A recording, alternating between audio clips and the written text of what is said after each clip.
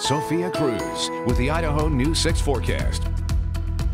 648 is your time and Memorial Day is here and it's bringing us a beautiful sunrise today. This is from Bogus Basin. Take some time to spend some time outdoors today, especially because temperatures are going to be so nice and warm. Now we're going to see a large thermometer spike not only today, but tomorrow too, and that will cause the probability for some severe weather. But don't worry, we have a cool down on the way and I'm going to break down all this for you so you can manage your expectations for this week. Now today we have that upper level ridge. Oh, if it can come back, let's see.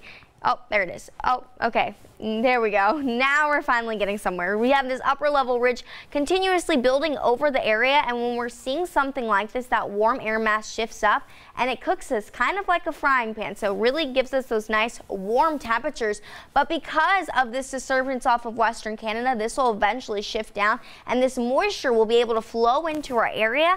And because that lifting mechanism is there, that's why we see that severe weather outlook. So here's what we're expecting around the area. A lot of the marginal risk associated with our northern areas. We're still seeing those thunderstorm probabilities, but what this really all means is that those ingredients for severe weather are there. Now, it doesn't mean that it will happen everywhere, but here's what you can expect as you go into tomorrow. Cloud coverage will start to build in heavier spots in Jerome and Twin Falls, and then eventually we'll start to see a heavier amount come towards Mountain Home and Glenns Ferry. Now, the good news about this, the bulk of this heavier precipitation going to come in overnight, so 8 o'clock tonight. This will be while you're getting tucked away hopefully into bed and getting ready for the workday on Wednesday. But a lot of this is what could carry those severe thunderstorms and outlooks. So just really be weather aware heading into tomorrow. We are still getting really nice outlooks for the entirety of the week.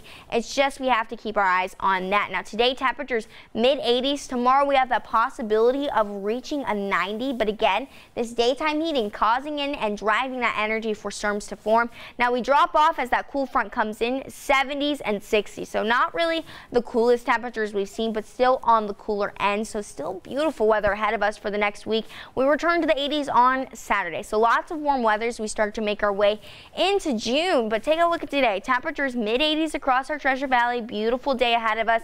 In our Magic Valley, we're sitting on the cooler side in the upper 70s across much of the area. The lowest temperature we have here right now, 76 in Oakley. So it's going to be a really nice, warm day ahead of us. And if you have any plans, don't even need to worry about any severe weather threats until tomorrow afternoon. Now, it's going to be still be sunny during the day, but we just have to keep our eyes as we make our way into 4 o'clock. Now, temperatures could reach even a 90 tomorrow, and then again, we could see that cooler temperature come in on Wednesday and Thursday, 70s and 60s, with the weekend looking nice and dry and back in the 80s. We'll continue to keep you updated here at Idaho News 6. Have a wonderful Memorial Day, Idaho, and for now, let's cruise over to traffic.